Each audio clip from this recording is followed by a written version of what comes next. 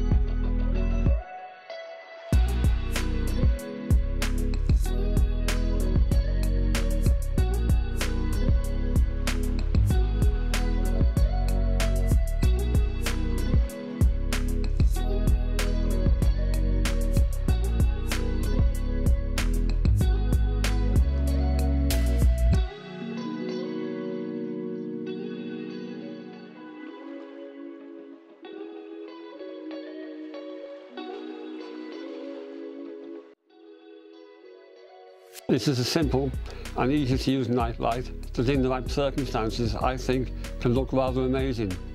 It consists of four Star Wars themed plastic panels that sit on top of a multicoloured LED, the light shining upwards and through the plastic panels to give a remarkable 3D effect. And it comes complete with a remote control to set the colour, lighting mode and brightness build quality and packaging is fine and far better than I expected for the £14 price. So if you're a Star Wars fan, then this might be just what you need.